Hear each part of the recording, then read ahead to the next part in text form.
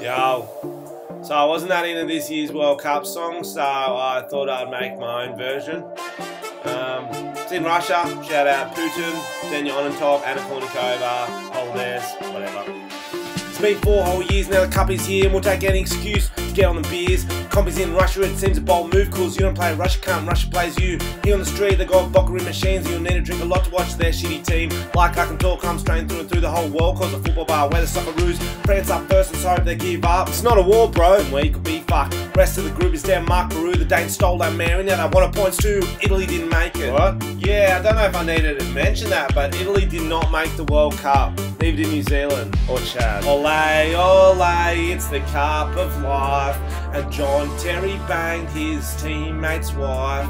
Waka waka waka, watch the games all night. And when Russia lose, they're gonna kill everyone. Fly your fools. Ronaldo's there, the statue of terror. Definitely Wayne's to himself in the mirror. Spanish team are fit and they're looking to kill. They're gonna stab and stab. Bro, it's soccer, not a bull. Spain don't dove and more shit you won't hear. I think Morocco or Iran will be the game of the year. Then there's Messi, but the Choke. Cause I'm like Maradona, he ain't done enough coke. Iceland's got the Viking. Croatia's where I got the club. Vicky makes me wanna fat. Vicky makes me wanna fat. Brazil's lost last time, got the world's attention. More one-sided than a Russian election. Germany's back, they've got a strong core. They might be the chance, but they can't win a world war. There's a taste. Know I missed a few teams. Don't really matter because they ain't gonna win though. Australia's gonna lift the cup.